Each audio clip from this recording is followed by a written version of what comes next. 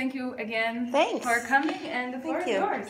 Thank you for having me. Thank you for coming. I know that the sun is out and there's plenty of things you could be doing right now rather than being here and listening to me. I appreciate that. Thanks for coming. I wonder if you have any idea what this lecture is going to be about. What do you think I'm going to talk about? What is it all? Come on, give me your ideas. What do you think this lecture is about? One person. Don't be shy. Come on. Hey, You have like no clue, right? Okay, so what I'm gonna do is I'll try to explain to you what I'm doing. Um, the lecture is vaguely based on one chapter from my book. Um, this is my habilitation. It's 12 years of your life. If you want to go this way, strongly recommend it. Um, what I want to talk about today is the connection between how Americans make their foreign policy by using, cooperating, and exploiting partnerships with people who are not Americans, people who are from all over the world who share their political goals. This is basically what I'll talk about. Now, here's the agenda of the meeting. So, you, what you can expect is that first I'll tell you, I'll, I'll give you some theoretical background. So, you're not going to be completely lost, I promise. If you are completely lost, raise your hand and I'll try to address it and I'll try to explain a little bit more. So, first, what is public diplomacy? How does the state organize its foreign policy when we are not talking about bilateral intergovernmental relations? Okay. Then I'll describe to you what is psychological warfare. And you are already like, oh God, why am I here? This is going to be horrible. It's not. It's going to be fun. You'll see. Um, then we will talk about political warfare, which is a different concept. And the author, the father of it, you're going to tell me who he is. Um, and then we will enter the private factor. So when the government needs the private sector, what what I mean by the private, I mean media, I mean business, I mean uh, charity foundations. I'm also meaning um, to describe to you people who share political goals with the Americans and need their help, and they have something to offer. Then I'll give you an example of how this can work in practice. I'll talk about freedom committees.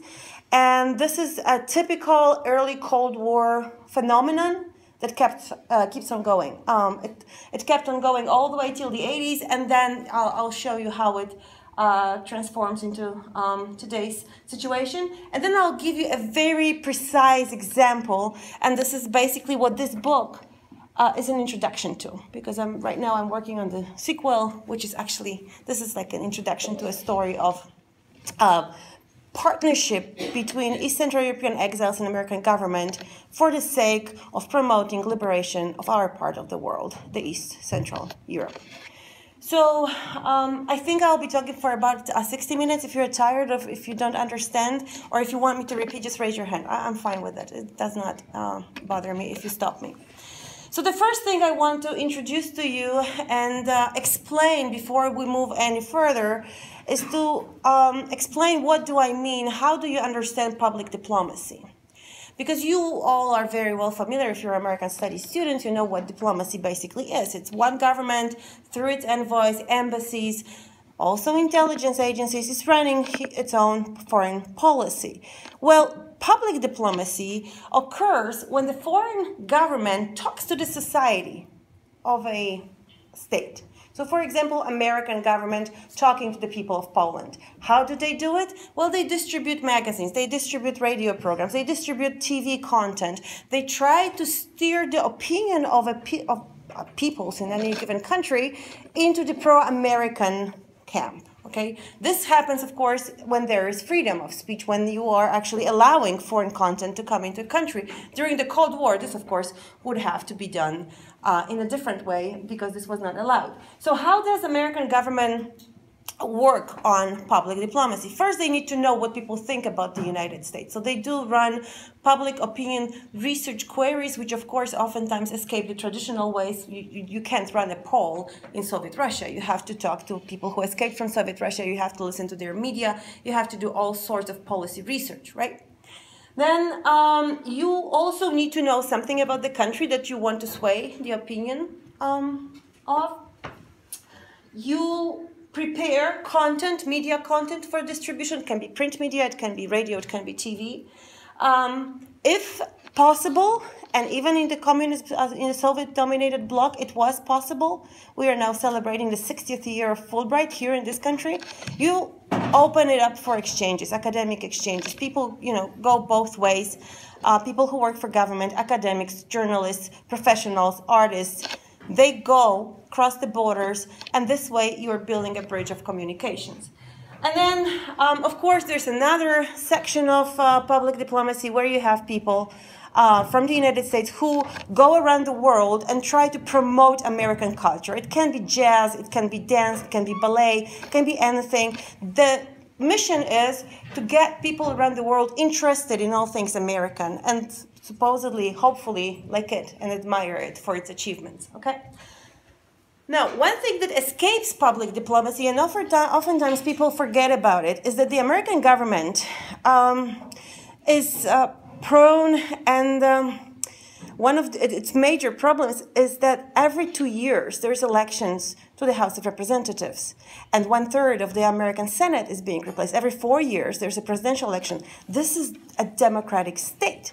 So if you want to run a cohesive foreign policy, you better explain it to your people. So what the State Department will do, and that's why I have the state here, it will also have a special office. It was called um, the Assistant Secretary for Public Affairs. Then we have a whole office built around it. Uh, which was responsible for projecting American policy upon the public and explaining why do we need to go into uh, Europe? Why do we have to go to Germany? Why do we have to um, confront the communists during the Cold War. So the Assistant Secretary for Public Affairs, the office was uh, inaugurated in 1944. In 1947, uh, the State Department changes again. In 1947, there's a special office. President Truman inaugurates um, policy planning staff. This is a um, a very important place within the State Department because this is where policy gets formulated. This is where uh, prominent um, experts on different regions meet and project, uh, come up with the ideas of what American policy should be. Um, in July 1947, I really pray to God that you know that um, CIA and National Security Council are created. Okay, I hope you have heard about both before, right? So. Um, it is important because it is the National Security Council that approves the proposal by the policy planning staff, and then the CIA implements it. Okay?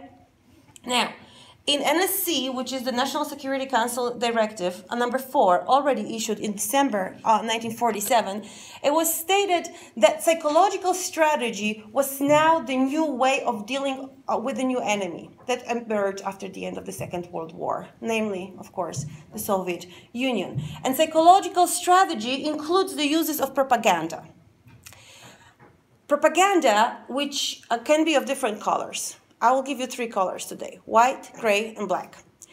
I'll explain them in one second. For now, please remember that the Office of Public Affairs within the State Department deals with white propaganda mostly.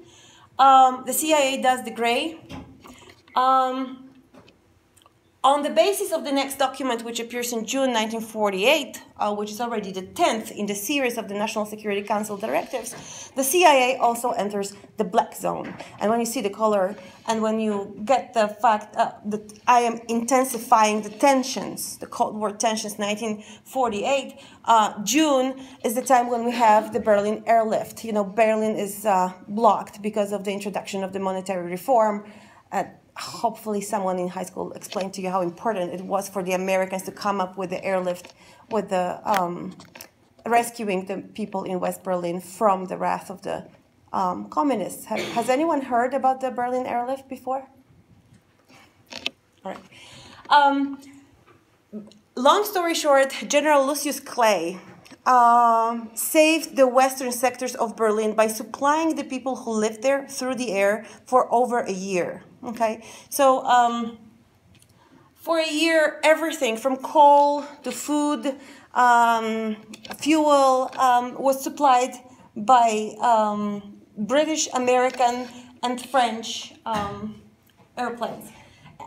CIA at that time is authorized to do more, not just gray propaganda, but also black propaganda. And this is the document that gives the CIA the right to operate as if it did not represent or act on behalf of the American government. This is the so called plausible deniability. I cannot confirm, I cannot deny. I, don't know. It wasn't me. It's not us. And you cannot, you know, affiliate it with the American government because black propaganda means that um, the real source of information is concealed. It means that the content seemingly is created by the enemy. So it's putting lies out there in the um, say broadcast programs and attribute them to your enemy okay? And this is basically disinformation. This is lies. So cia is now authorized to do it okay? In the war uh, usually it's the army that uses it as one of the weapons of psychological warfare. This is nothing new it does not come during the Second World War. It's uh, you can go all the way back to, to antiquity, trying to find the first uses of, of this sort of uh, use of psychological warfare among the different armies. It was used during the war by the OSS, Central Intelligence Group, and then the CIA uh, from June 1948 can um, also enter this area. What is propaganda? And uh, you know, today you might want to give me all sorts of uh, information, all sorts of definition. One thing you have to keep in mind is that we are not in the 21st century. I'm talking about late 1940s. And during the 1940s, you will find people to whom I will relate later, who will tell you that uh, propaganda is information with a purpose. So you're trying to convince somebody. So some of you will say, oh, so it's basically a PR effort. Yes, it is, if we are talking about white propaganda. So this is what State Department does. This is what people do when they, for example, describe their experience, their experience during the war, their experience with the communist oppression. Then this is obvious. Who is talking to you? and what they say is, is basically um, their own account. And normally, if we're talking about State Department, like you have here, or we are talking about Voice of America, American uh, Information Agency, USIA, we are talking about people who are um, representing the point of view of the government. And this is also um, to be considered propaganda. So, a way, information idea, doctrine, or special appeal um, are, are going to be projected upon a certain group in order to change their opinion, to in, and influence them favorably towards the sponsor. In this case, I'm talking about the government. There's also this gray zone. And this is where it gets really interested, interesting.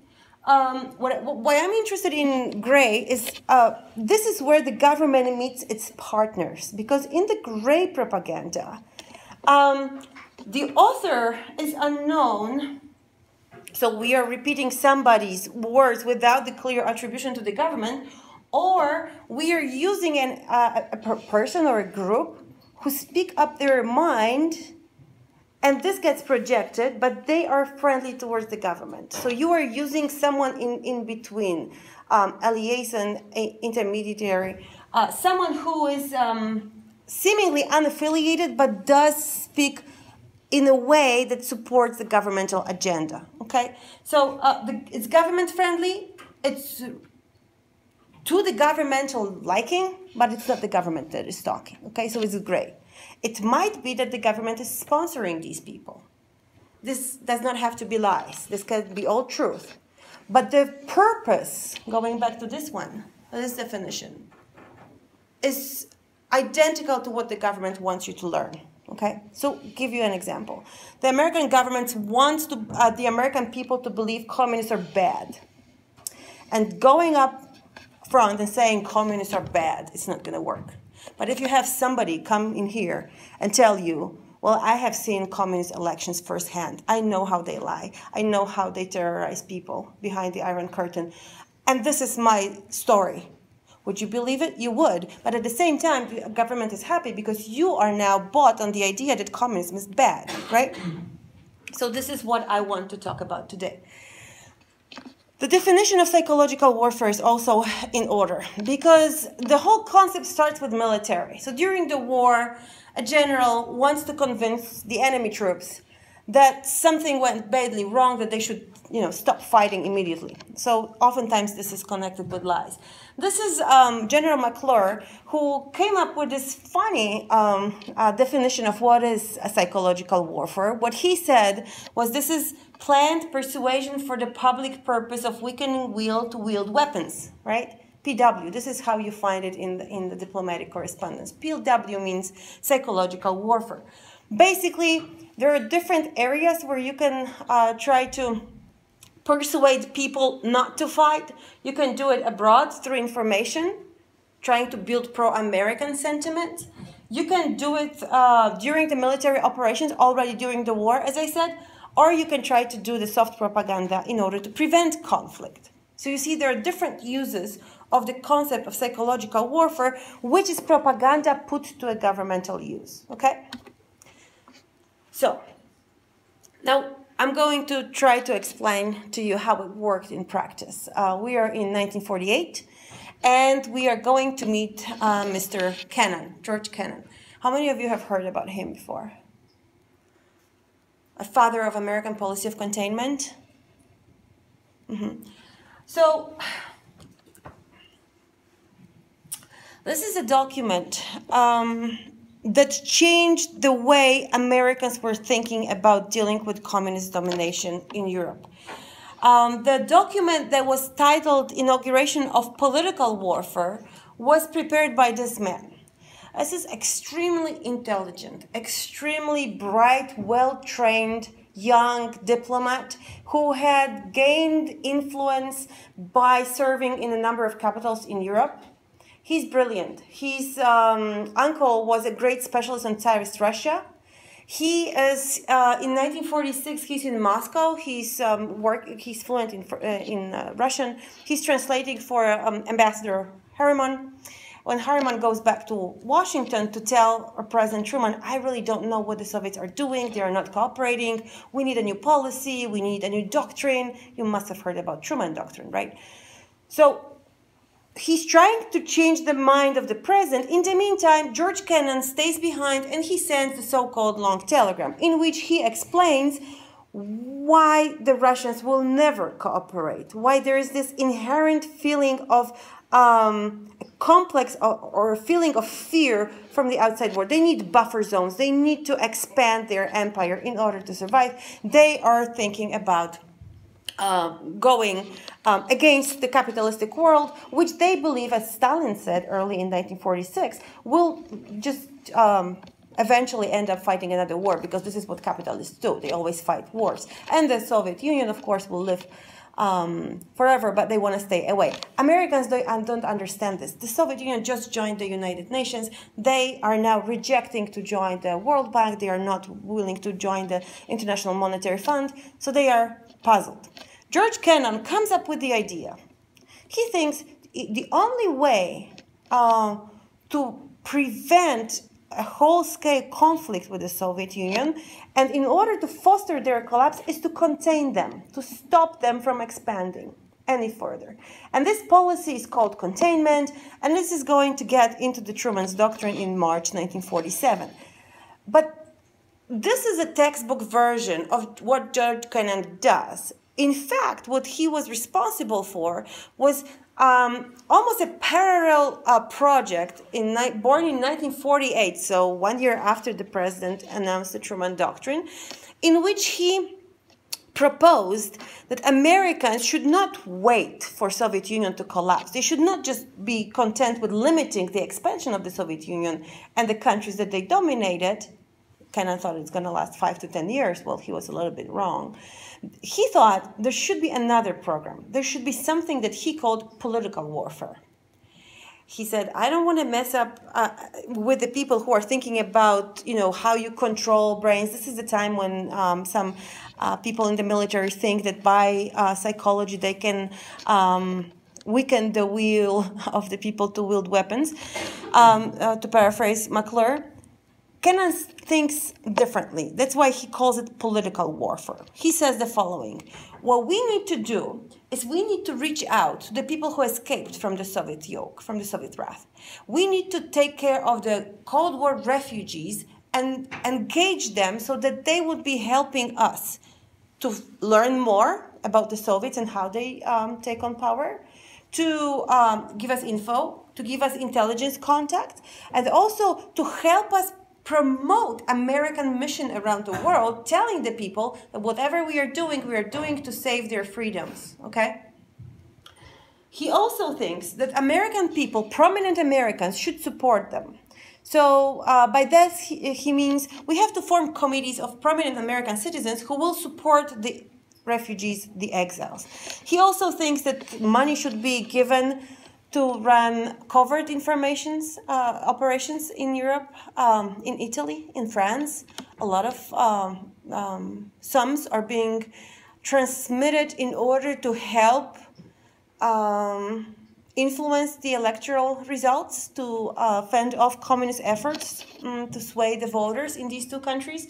There are also plans for paramilitary organizations, for paramilitary attacks. There is spying networks. All of these um, different areas of activities are supposed to weaken the Soviet bloc. Okay, so you see there's like two parallel tracks which are actually not really complementary. These are two different policy models, and as you can imagine, I am going to focus on the other one. So that is the political warfare, leaving this to the textbook um, version of things. If you would like to read more, if you, I think you should, uh, learn more about how American Cold War policies were shaped, you know, go and read Henry Kissinger. You know, his book on diplomacy is really readable, and you will have all the different stages of how containment evolved lined out right there for you. Kennan, of course, as the head of the policy planning staff, um, later the author of the very influential article published in the Foreign Affairs uh, called Sources of Soviet Conduct was not the one who took on the job to carry out all of these complicated operations. This is a, the most important and most often neglected person who did a lot of um, plan and um, carried out a lot of operations behind the Iron Curtain. He's also the man whom we find um, as influential as it can only be when it comes to money and personnel in creating the Free Europe Committee. The Free Europe Committee, which will be my example, as you have seen on the first slide, uh, that I'll talk about in a second. Frank Wisner, a former officer of the Office of Strategic Services, uh, American intelligence units during the Second World War, a man who was in Romania, um, who was um, 1944, who was right there on the ground building spying networks, the man who was uh, helping people escape, the man who was also responsible for building an organization that I want to describe to you. The organization was called um, Office of Policy Coordination. If it doesn't mean a thing, if it doesn't sound like anything that you can um, connect it to, well, the chances are that this is connected to intelligence. And you're right. If it doesn't mean a thing, that means that this is a big thing. And this was. Office of Policy Coordination was created in September 1948. And this was a office that was responsive to what the State Department wanted, was paid by, by the CIA, but it was really independent from both, which means a lot of money, very little responsibility, and very um, enlightened and engaged leadership like Frank Wisner, who is free to do basically uh, many things that you know are hard to imagine. For example, parachuting paramilitary units to the countries behind the Iron Curtain, but also a lot of um, propaganda activities in Western Europe um, and in the United States uh, alone. So if you're thinking that this is something random, something not important, something probably she took out from one of the folders in one of the boxes in God knows which archive, this is a big thing. This is a, a page from the Foreign Relations of the United States. This is a series that contains um, an extremely well prepared account of what American foreign policy looked like through every single administration. So if you are whatever you're working on, whatever paper you want to write, what, whatever is your field, if this includes America's relations with the world, this is a place for you to look. Because you have historians who devoted their life, their entire careers to putting these documents for you with footnotes, with explanation of every single abbreviation. It's a fantastic resource. Now, when you look the one on the establishment of intelligence, uh, uh, the establishment of American intelligence, um, volume, which was uh, released not so long ago, uh, maybe a decade, uh, you will find a memorandum um, exchanged between uh, Frank Wisner and the director of the CIA, which is, is abbreviated by, as, as DCI. uh, Director of Central Intelligence. And you can see what the OPC was responsible for. So psychological warfare, poison pen, rumors, black propaganda at its worst, okay, trashing people uh, by the words that are spread uh, against them. Political warfare, which is the Kennan's vision, um, supporting resistance, uh, supporting DPs and refugees, um, encouraging defections. If people are escaping from Soviet Union, that is a great propaganda asset. That means they don't like it. So if they defect, if they abandon the system, that's actually really great for the propaganda uses. There's economic warfare, which is completely against the United Nations um, Charter. That's a different story. There's support of guerrillas, sabotage, and the establishment of front organizations, organizations that are seemingly independent, but in fact they do represent the interests of the American government. Are we home? Right? Okay, good. this is also where we find for the first time, look, the date of this document is October 29th, 1948. There's no Free Europe committee yet. There, nobody thinks about Radio Free Europe. And finally, I'm getting on the page when you were with me, okay? This is not known, this is not developed yet. And already here, Frank Wisner is saying that there's a plan for broadcasting to the Soviet Union and Eastern Europe from the US zone, occupation zone, in Germany. Empire Project. Um, this is where it starts. The intellectual, but also financial, technical, and operational structures for what will become um, a major Cold War operation that was, I think, the most effective tool that the Americans developed during the Cold War. So I'm getting to the point. What is the state-private network? You know, going back to my original question that I asked, like, what am I going to talk about? Well, this is what I'm talking about. I'm talking about the connection between the American government and uh, its partners within the society that are ready to support it willingly because they share the goals, or sometimes unknowingly, which was the case of, for example, student organizations. Students were really delighted that they were getting all these grants and funds for their organizations. What they didn't know it was um, who underwrote the checks. Okay, it might have been the Rockefeller, Carnegie, or um, Ford Foundation. Um, one of the Ford Foundation representatives once said that probably more than 80% of all of its grants went towards activities that supported anti-communists. Okay? What is happening here? What is the state-private network? I'm going to use the definition by two experts on the matter, uh, Liam Kennedy and Scott Lucas, and they describe it as such. It's a broad, and they say in the context of the Cold War, unprecedented cooperation of officials um, American agencies with private groups or individuals. So it might be a student union, it might be uh, trade unions, it might be the artists uh, organizations, social clubs, it might be um, organizations established by the refugees, by the exiles, in developing and implementing political, cultural, economic programs in support of American foreign policy. So we have DOS's Department of State, CIA, OPC, now you know, of course, we're talking about Frank Wisner here. They are coming up with guidelines in terms of Department of State and with the funding. They cannot, CIA cannot just go ahead and sponsor whoever they want, because this, of course, means that the American government is using these people, and everybody will call them agents of the American um, government immediately. So they are using the go in betweens, they're using the liaisons.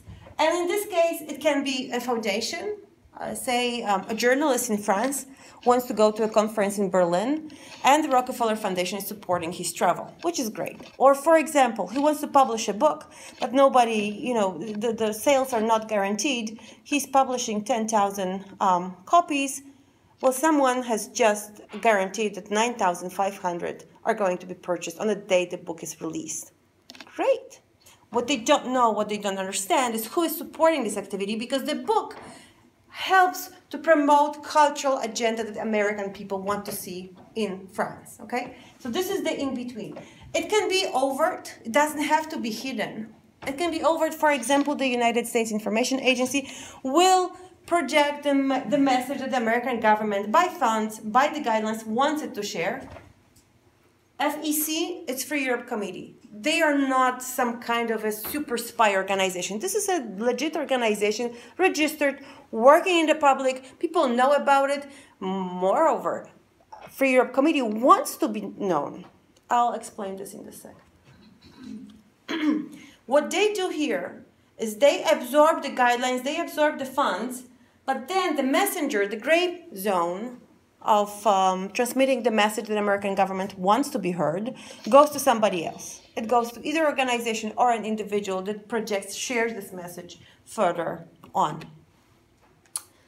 So here it is, uh, Free Europe Committee, um, an organization that was established in 1949, an organization that, um, as its logo, used this Liberty Bell, and this is something you are definitely uh, familiar with, right? Um, we are in Philadelphia. This is the um, symbol and the sound of freedom that Americans want to project upon the world. And Free Europe Committee encompasses all the three areas because it is um, sponsored by the CIA all the way until the early 1970s. It does cooperate very closely with the Department of State. And these symbols here are policy planning staff, where the policy is being developed by people like Kennan. Then we have the public affairs, and OAR means Office of uh, Intelligence and Research. This is the State Department's access to um, information. So they're in constant cooperation uh, also because of the board members of the committee and then because of the connection between the free europe committee and private business private media um, and uh, foundations. I have uh, brought a list of the people who were on the board of the free europe committee and when you when you read this this is literally like who and who of America in the early 1950s. We have people here who are the editors of foreign affairs. We have people who have served on the Council of Foreign Relations. We have former military personnel. We have the um, uh, former OSS um, officers. We have directors of banks. We have people who work in Hollywood, people who own uh, Time Life empire, we have diplomats, we have members of the government. This is a very powerful group, very influential. With these people comes esteem, contact, uh, prestige. They support, they endorse it because they believe there's nothing worse than further communist expansion, which brings havoc, which brings despair, which brings the collapse of independent sovereign states. So they are supporting it, but beware, all three elements are uh, equally almost important in the existence of the Free Europe Committee. So um, the Free Europe Committee has got two areas where it operates. One is in the United States, where it tries to influence the people to believe it that the American government is acting in the best interest of the American people when they fend off communist expansion, when they try to limit this evil empire even before Ronald Reagan comes into the stage. They are creating a special vehicle, a special tool to explain to the American people who is paying for it. Because how can you convince the American people to believe you if you tell them at the same time that you know the CIA is paying for you know the operations of the Free Europe Committee? They're not saying this. They are the real uh, source of funds is covered by a campaign, a public um, campaign called the Crusade for Freedom which is first the part of the committee, later it's a separate entity. Crusade for Freedom asks the American people to get involved. And I have a, a very, very short uh, video. Let me just play it. I hope you're going to recognize the charming man who advertises your effort. My name is Ronald Reagan. Last year, the contributions of 16 million Americans to the Crusade for Freedom made possible the World Freedom Bell, symbol of hope and freedom to the communist-dominated peoples of Eastern Europe, and built this powerful 135,000 watt radio Free Europe transmitter in Western Germany. This station daily pierces the Iron Curtain with the truth, answering the lies of the Kremlin and bringing a message of hope to millions trapped behind the Iron Curtain. Grateful letters from listeners smuggled past the secret police express thanks to Radio Free Europe for identifying communist quislings and informers by name. The Crusade for Freedom is your chance and mine to fight communism. Join now by sending your contributions to General Clay, Crusade for Freedom, Empire State Building, New York City. Or join your local community. This is a very prestigious address, right? Empire State Building. Does it get any better when you think about Manhattan? Lucius Clay, the hero of Germany, the man who put together this extremely um, tedious effort to feed the people of West Berlin. Well, this is big, and the actor is pretty handsome too, right? So this is getting um, into the minds of the American people. What we know now, it costs more money to collect this little um, fundraising effort donations. So going to the gasoline station and picking up the jar with coins, you know, collecting all these checks with $1, $2, $5 bills, it cost more to run it than it delivered. For entire time, from 1949 all the way to 1972, Free Europe Committee was mostly underwritten by um, the CIA. So don't get carried away by the fact that the American people are supporting it. It's meant to, you know, if, if you are willing to give money to the cause you care for, that means you are engaged. And this was the purpose, okay? Oh. All right. But Free Europe Committee is not only about the radio. Again, the radio was the most important, the most influential, the most expensive, and the most amazing project that delivered true news to the people who were deprived, who were subjugated to censorship, limitation of travel, people who were not free. They could turn on the radio and listen to what was happening around the world, including their own country at times. Uh, the radio program was um, broadcast in national languages, so you had the Polish section, and the Polish people could listen to the Polish radio, which was um, transmitted from um, uh, Germany, uh, Munich. But radio was not the only project, and this is what I wanted to share with you. Free Europe Committee was all about uh, integrating different sorts of activities that were meant to uh, steer the American people, but also the global opinion, also in the so-called non-engaged parts of the world, into the pro-American vision of how to um, build a, a, front that will be basically promoting Pax Americana. So we have, I told you, the PR campaign, which was the Crusade for Freedom. We have Speakers Bureau, when you can hire a person who escaped from the um, East and uh, tell you what happens.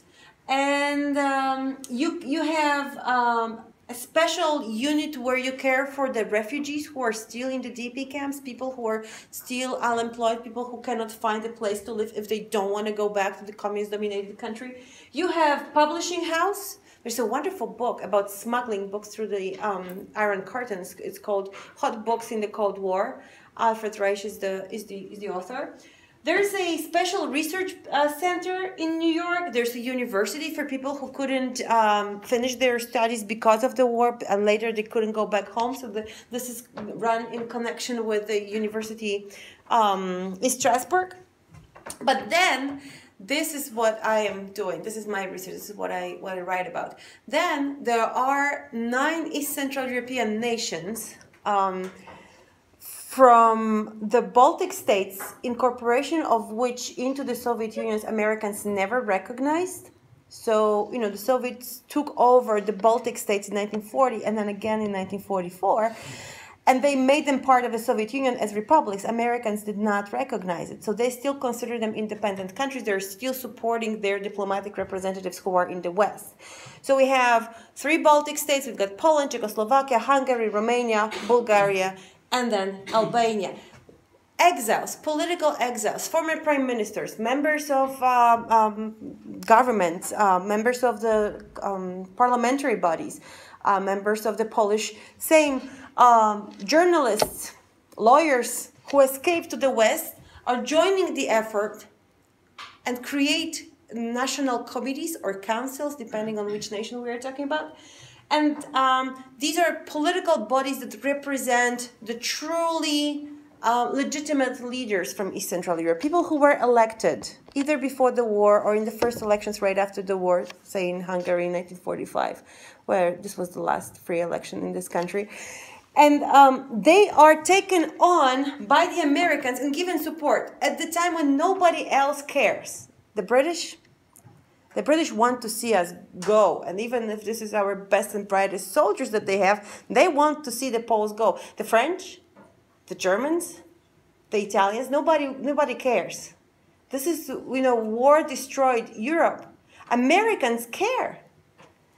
And the people want support because without it, they have nothing. They don't have money, they don't have influence, they have um, only friends who are left behind the iron um, wire. These people came together and they formed an organization, the political exiles from all over uh, East Central Europe. This was called the Assembly of Captive European Nations. And they worked together as a very efficient lobby. So they went around the world. They went also to the UN, to the Council of Europe. They went to the members of the governments in Europe. And they said what happened and what was their agenda. Never let the West admit that this is a status quo, that the Soviets will stay in East Central Europe forever. This was their mission. We want free elections in our homelands, and we want the Soviets to take their soldiers and leave.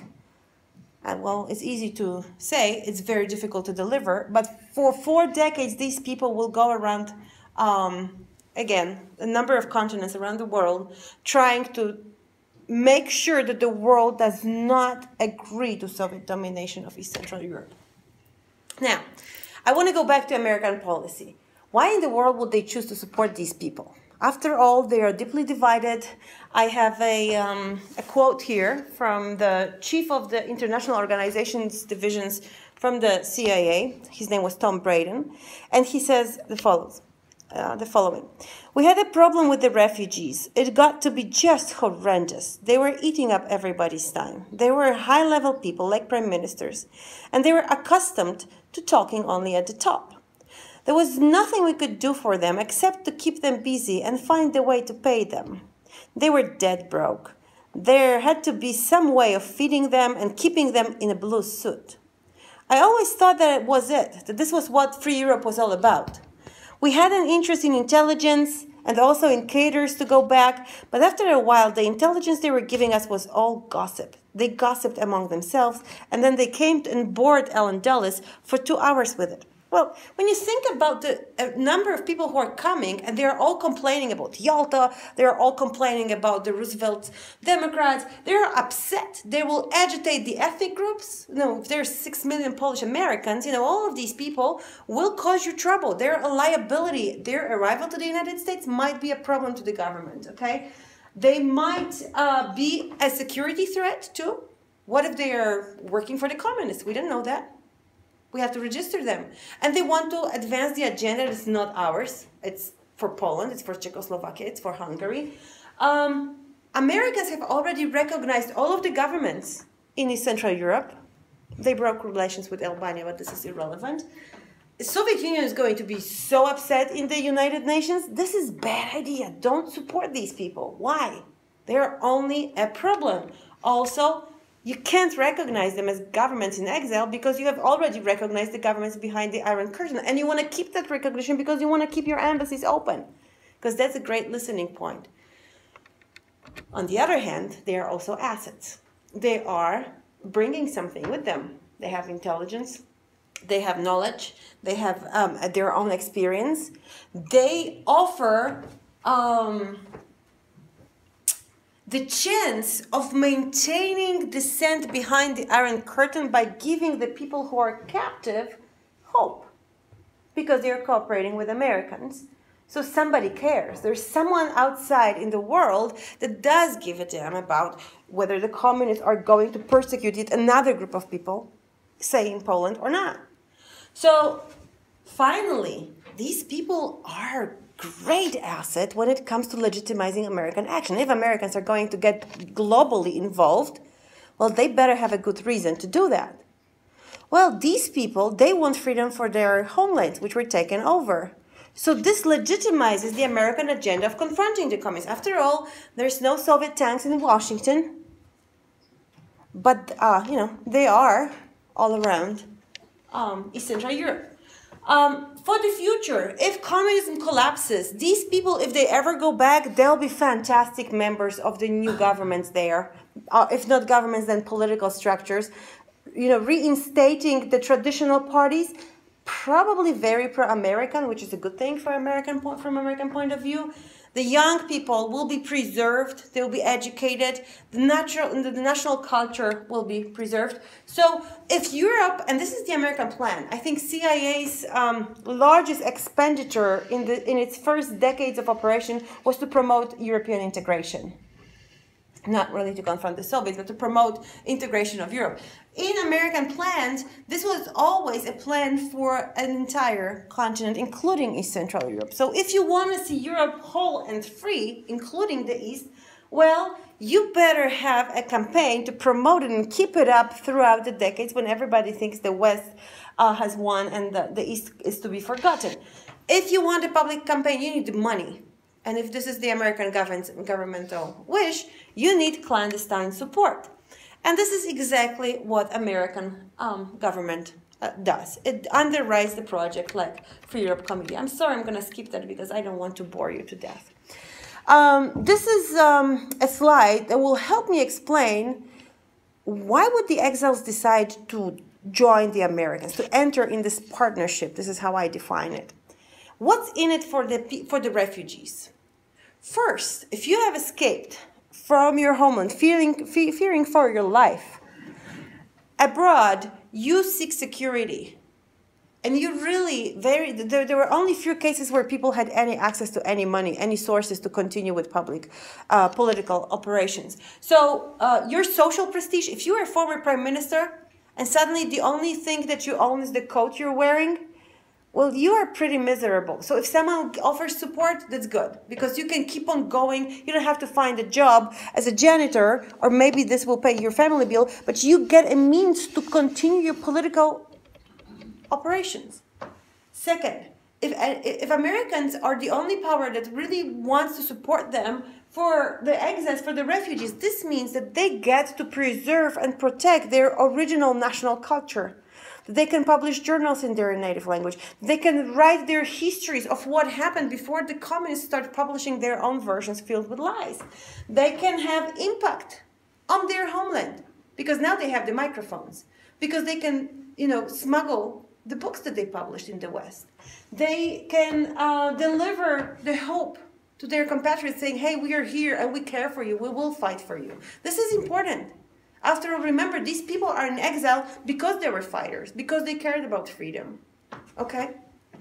And finally, American support for these guys means that they have leverage, they have power. They can form a lobby, as I have shown you before. They can maintain the traditional political structures abroad. Even if this government of the United States is supporting them, that's even better, right?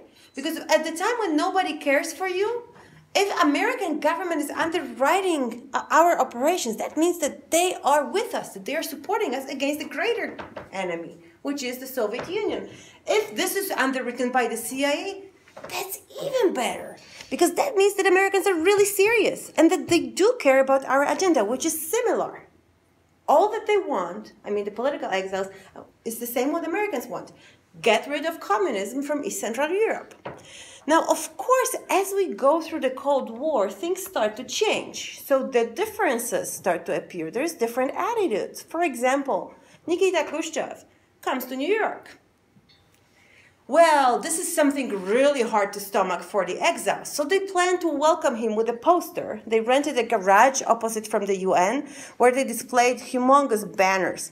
And they have one poster uh, depicting Khrushchev, who is carried in electrical in the sedan chair by nine captive nations, and he says, "I feel closely bound." Um, to the colonial people, right? And uh, the exiles said, well, East Central Europe was basically being colonized by the Soviet Union. So they put it up, but, you know, again, they are also underwritten by the American government, namely by the CIA. So what happens when it contradicts American interests? Well, in the morning that Khrushchev comes to the United Nations in the 1960, well, the poster gets covered. So there is conflict, right?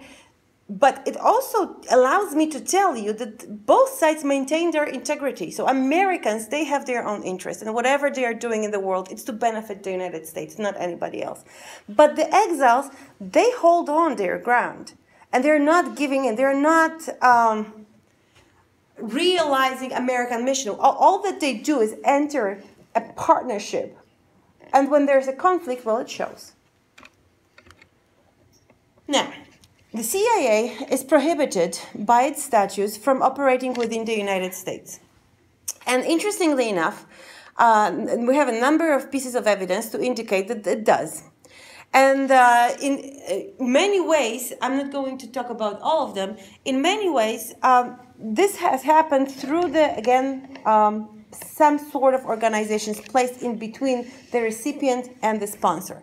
In the case of the East Central European exiles, who are used as an example uh, by me today, this is the organization that helped them to project their own opinions towards American um, public opinion, Americans at large.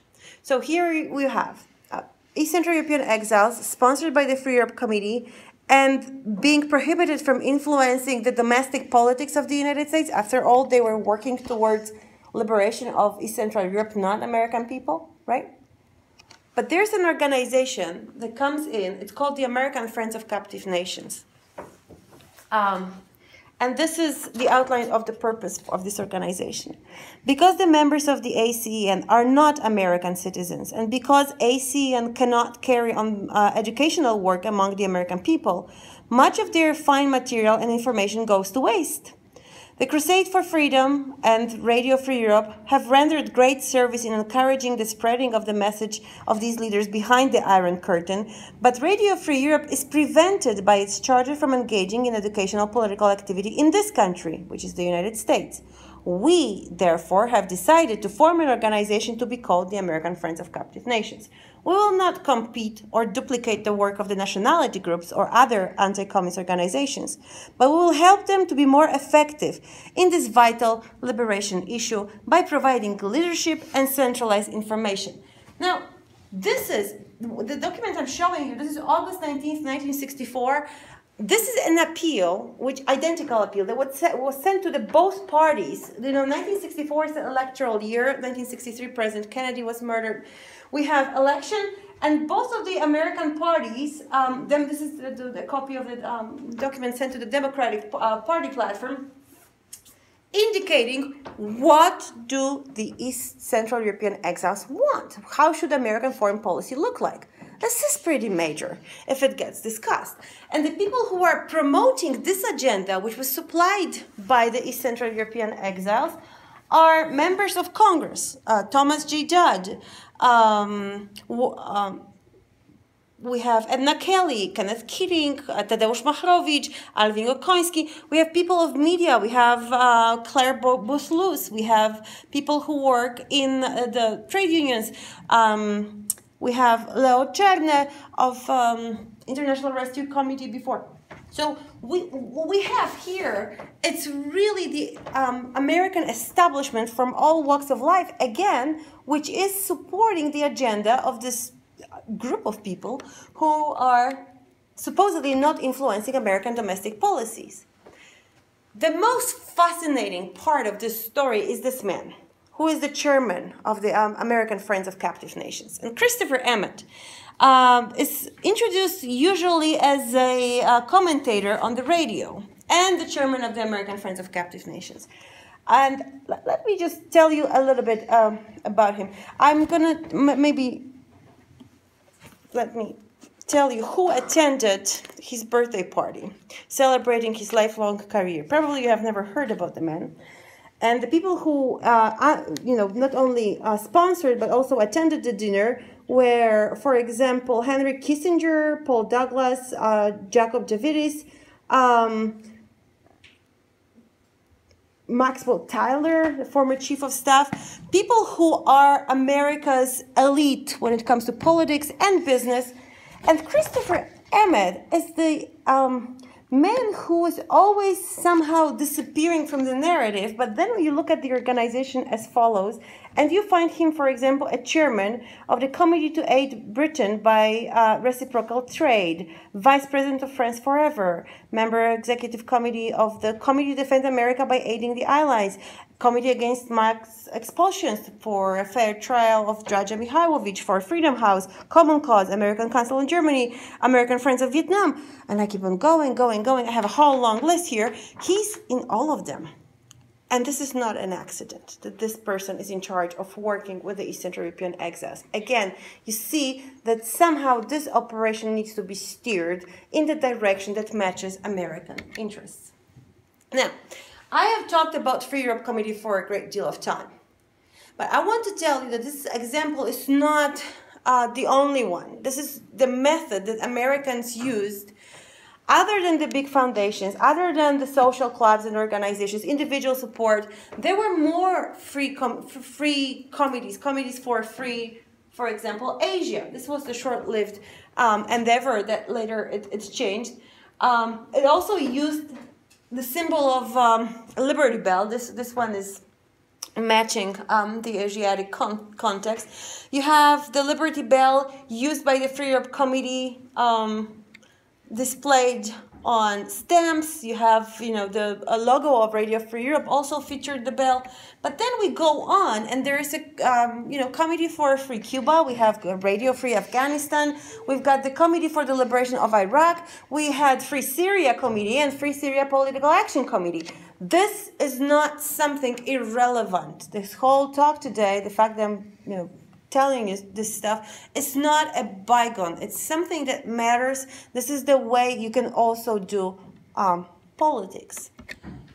Now americans in 1959 inaugurated american president proclaimed on the um, upon the request of the american congress the so-called captive nations week which said we care for the people who are not free. We shall not uh, forget them. We will strive uh, to fight for the freedom of um, the captive nations around the world. And this included a number of people that the number of peoples that were dominated by the Soviet Union, not only states but also um, groups of um, national groups um, all around um, uh, Europe and Asia mostly. Now, this is interesting because once proclaimed in 1959 by President Eisenhower, it was barely proclaimed again the following year in July 1960. And then barely in 61, and then in 62, and 63, and 64, and 65, and 66, and 67. And guess what? 2019, we're going to have it again. It was 2018, 2017, 2016. Every single president, every single year, proclaimed Captive Nations Week. As far as I'm concerned, communism is, has collapsed. As far as I'm concerned, the mission to liberate the countries of East Central Europe has been accomplished. And yet, every single president, President Trump included, has proclaimed the Captive Nations Week every single year. And now, I really found an interesting theory in, in this book. This is John Fousek to Lead the Free World, in which he combines three things that provided for American global engagement. He thinks that American um, feeling of national greatness, you know, American exceptionalism, you, you can define it uh, yourself. The feeling of global responsibility as the sole free power standing capable of defending freedom around the world. Plus, in the Cold War context, anti communism, later the idea of liberating, freeing people, together would create a construct that provides for American nationalist globalism. So their involvement around the world being explained. Okay? And so the mission continues. Um, to close the story of the um, Free Europe Committee and its uh, different projects, I want to tell you that in 1972, Board for International Broadcasting was established. It's no longer a super secret uh, thing. Who sponsors Radio Free Europe? Now it's the American Congress, the American taxpayers. They know what they pay for. They are not shy, and the Radio Free Europe is still in action, still in operation. So if you want to listen and learn more about the world east and south of us, tune in. They have really great podcast, really great website uh, by the way. Thank you. I will really entertain the questions.